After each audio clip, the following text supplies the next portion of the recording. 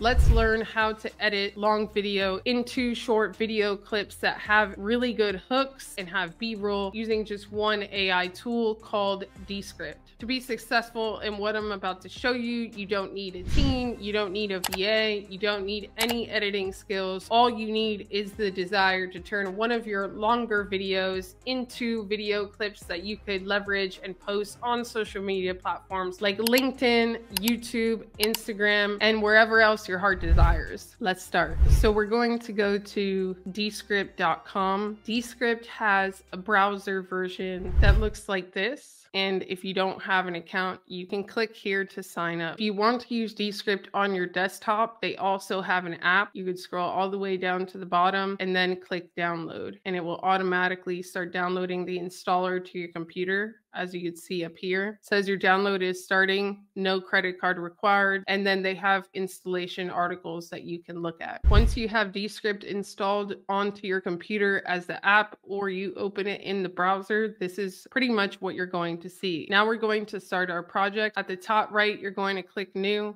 then you're going to click video project. It's going to open an entire new screen and you're going to see add file, start recording, or ask AI to write. In this scenario, you're going to add the file. Once you click add file, you're going to select the video that you want to upload into Descript. When you see this transcribing window pop up, if you're the only one in the video, all you have to do is add a speaker name and if there are multiple people in the video, what you can do is click unsure and it will walk you through identifying their voices. It will also ask for the language. I'm speaking English in this video, and then I'm going to click done. It will start to transcribe the video into the text where we will be able to edit it based on the words instead of based on only the visual footage. Depending on the length of your video and the strength of your internet, this may take up to a couple minutes minutes. Usually while it's transcribing, I will change the title so that I can keep myself organized in the library and so that I know exactly what this video is about. 25 best practices for going live on video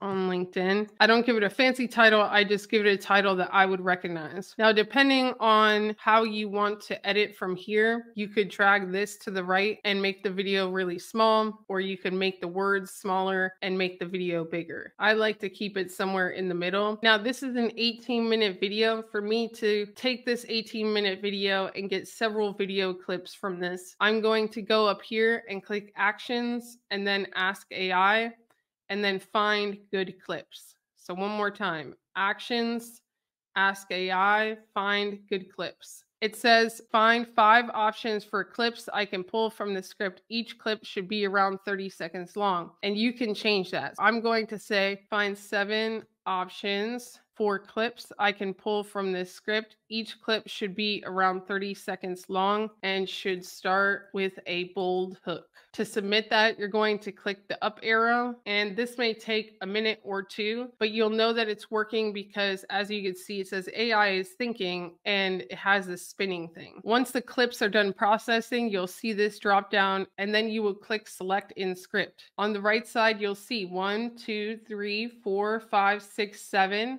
the seven clips on the right side. Now, the next step is to listen to all the clips. And for the ones that we like, we're going to duplicate to a new composition. The way that you listen to the first clip is all you have to do is click the space bar on your computer. Do not ignore the questions in the comments of your live. Now, the main thing when you're doing this is not that you're just going to get messy clips and post them. You really want to see do these have bold hooks? Would your audience be interested in watching this video? And if it's not a good clip, then you don't want to duplicate it. For me, this is relevant to my audience. I could already tell it's a pretty good clip, and I'm not looking for perfection in the entire clip. What I'm really filtering now in this process is whether the hook is bold enough and whether the topic is relevant to my audience because I could edit all the other words and make it look fancy later in Descript. So what I'm going to do is I'm going to click duplicate up here, which means that I want to keep this clip to edit in the future. I'm going to click duplicate. As you'll see down here, it says selection added to a new composition. I'm going to go to the next clip. I'm going to run through all seven and see which ones I want to keep to post on social media. Let's go to the next one. A red ocean strategy is where we compete. Also want to keep this one. This one has a good open.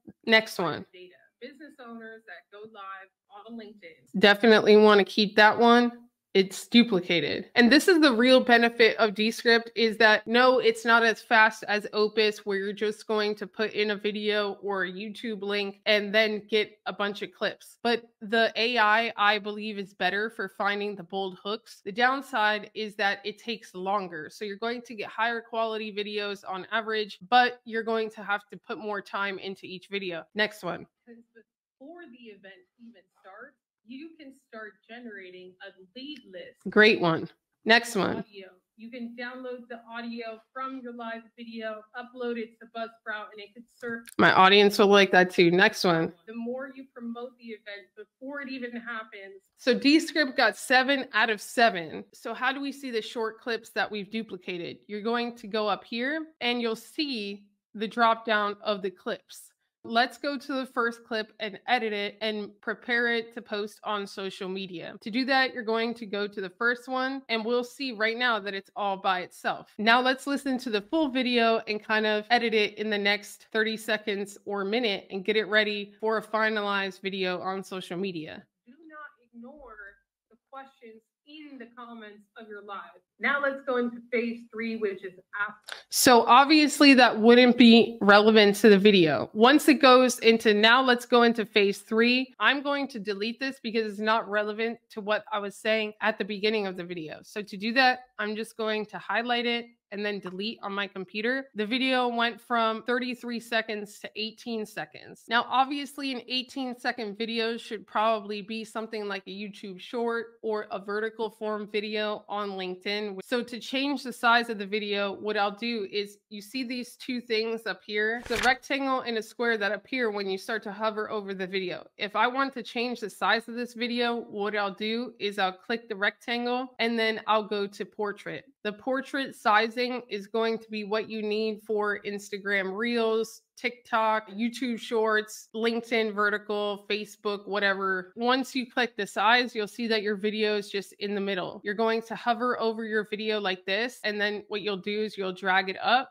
like this and drag it down like this. Let's just say that I wanted to move myself a little bit to the left or to the right. All I'm going to do is double click. And then you see how this turns white and I could drag it.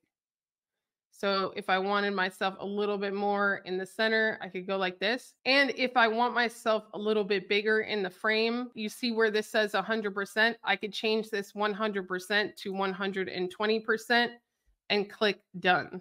So now this is what the video looks like. Do not ignore the questions now, another question I get asked a lot are about captions. Captions are pretty easy in Descript. All you have to do is click this four boxes at the top, and then you're going to click captions. So I'm going to click captions, and then these are the different styles of captions that you can have. I like this style.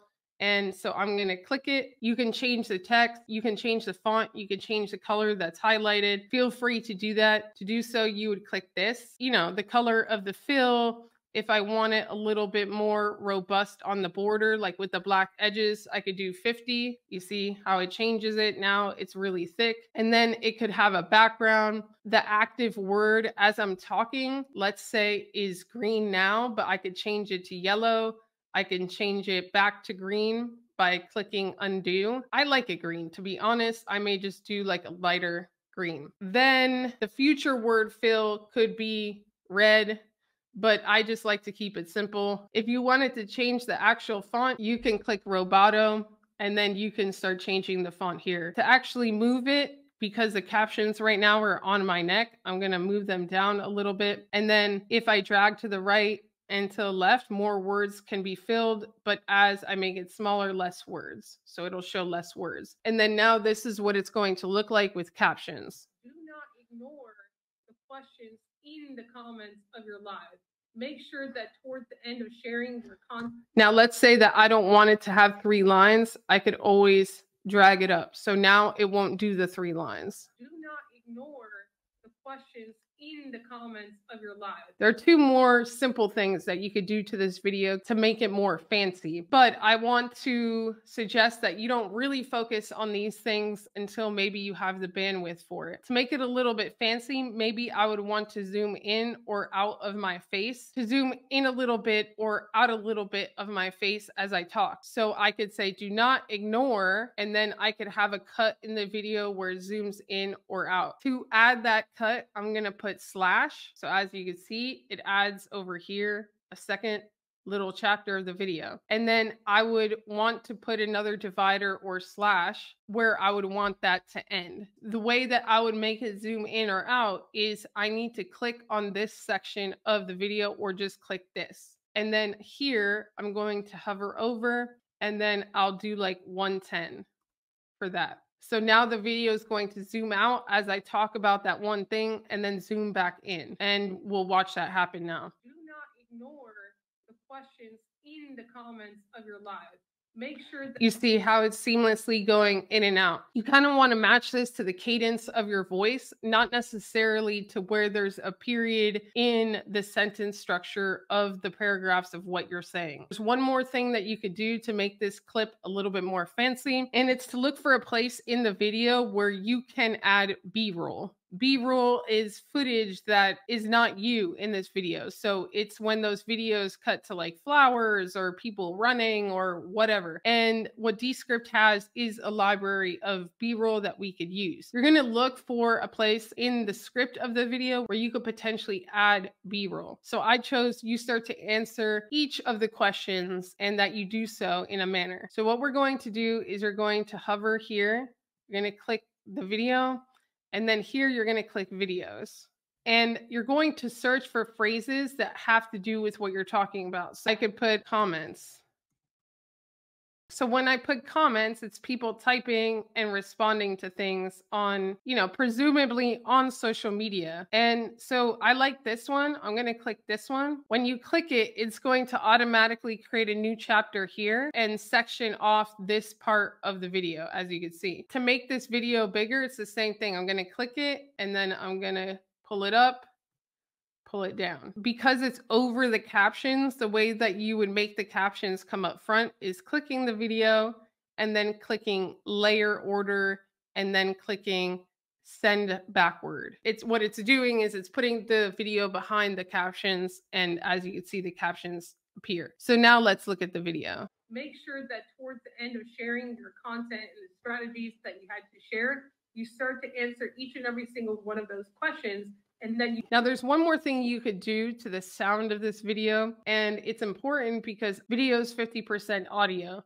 So you could highlight what you're saying in the video and then click studio sound it's going to make your voice a little bit more fancy, like you're in a studio, but sometimes it goes over the top. So we're going to control the over the topness through percentages. And I'll show that to you in a second when it's done processing studio sound because this little wheel will stop spinning. All right. As you can see, it stops spinning. So we're done with that. And now let's listen to the sound and see if it's too over the top. Do not ignore the questions in the comments of your live. I mean, it's okay, but it doesn't sound really like myself. So to control that a little bit, you'll reduce the intensity. So right now it's at 100% and then you can reduce it to 80%. And it should be just a little bit less dramatic. Do not ignore the questions. And that sounds good. Now to be done with this video, you're going to publish, you're going to export, click video.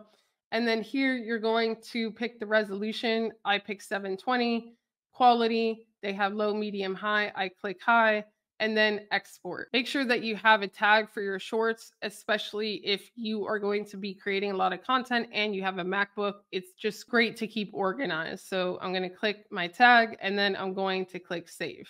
You'll see the percentage of download at the bottom right. The video is right here and it's downloaded to my computer. If I wanted to publish this on YouTube, Descript could publish this to YouTube. All I have to do is click publish and then up here, YouTube. I obviously do not want that title. Stop ignoring your live viewers. And then I could sign in and then I could click publish.